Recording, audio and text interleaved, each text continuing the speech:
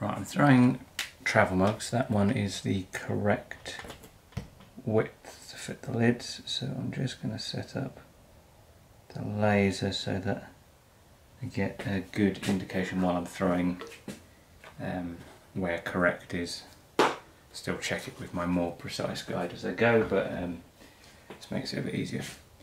And what I wanted to talk about while I was throwing was um, the Ceramics Congress, which some of you might have, you might already know about, or might have attended previous ones, but if not, it's basically an online ceramics meetup, a bit like, I imagine, because I haven't ever been, NCECA would be. But um, it's a, an online only event that's been running for a few years now and the format, I think I believe it still is, is that um, a bunch of putters from around the world will create video workshops on a subject that they know something about. And then over the course of a few days and this this year's is coming up in about two weeks two and a bit weeks over a few days um, you can virtually attend those workshops as well as live things and Q&As uh, and just kind of social events. I think there's a few live throwing challenges and the like. Um, I were I had a video in the first one, so I've been kind of following along well, I believe it's the first one, pretty much since its inception, if I'm right about that. Um, and it was on slip decoration. I think actually you can get access to all the previous videos. You could go and watch my video, um, and I, because I, I ran out of things to say before I'd used all the allotted time. The impulse design was something that I'd been mucking about with and then um, actually kind of formalised just so I had more content for my video. But um, the event itself is really it's a great because not only are you learning from uh, some of the some fantastic putters there's some the lineup for this one is even better than previous ones but um, a lot of my favourite current potters have done a video uh, one of them at least one of them so far and some of them come back to do more.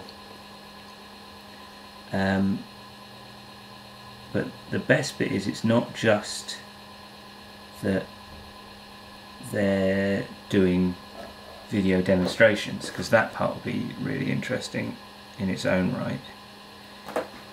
But they're giving the talks from usually from their own studios. So you get someone showing you how they make a something.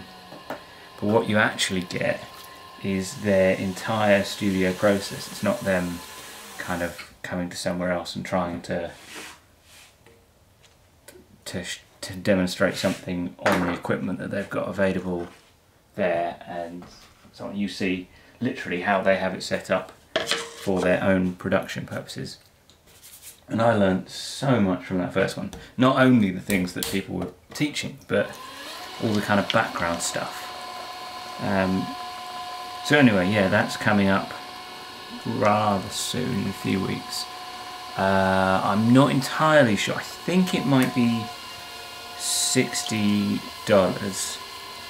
I know previous versions have had several kind of levels, so you can attend the initial, the first one, which is the one that I know best because that was the one I was involved with, um, and then the other ones I kind of uh, dipped in and out of, but they tend to be like this time of year is I'm just too busy. I have them on in the background in the studio, but I don't um, get a chance to sit down and watch every video like I did with that first one.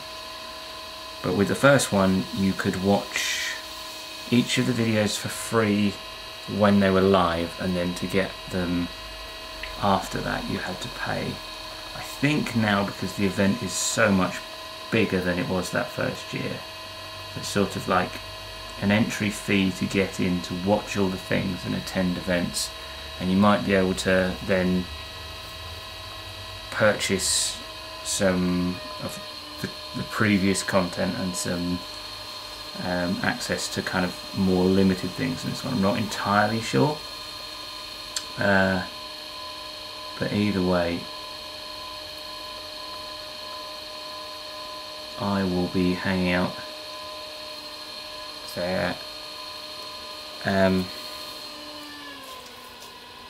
yeah, so I'll be watching.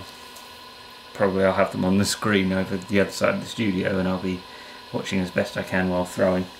But um, if you've got a bit more time to spare and were disappointed that you couldn't attend any in-person ceramic events this year check that out. I'll post a link in the video description